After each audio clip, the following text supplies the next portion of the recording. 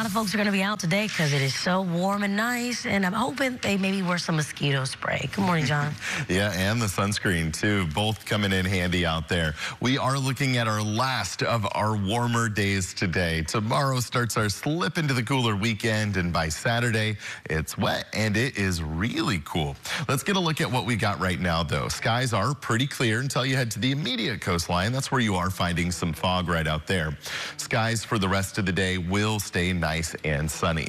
Now, tomorrow we start to see that cloud cover increasing, increased marine layer. That low has a deepening influence across the Bay Area, and the high pressure ridge that has kept us warm will start to work its way out of the region.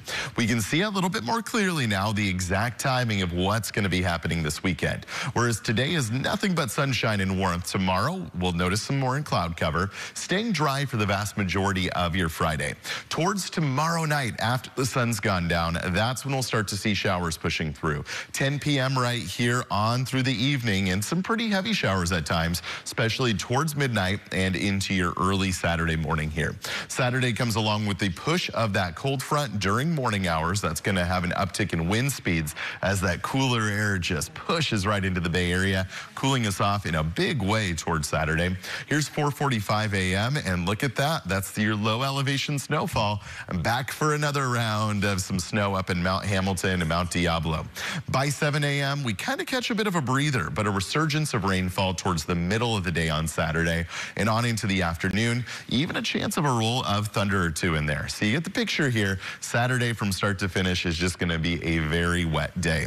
All this is going to add up to well over half an inch of rainfall, if not towards an inch in many cases. So another pretty wet weekend. Yeah, unfortunately placed right in the middle of the weekend yet again.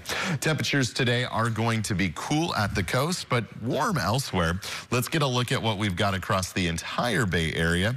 And as you can see, we will be looking at those 80s having made their return for spots like Antioch, Concord, Livermore, San Jose, even Morgan Hill. While 70s from Fremont through Oakland up to Vallejo and Santa Rosa down through Redwood City.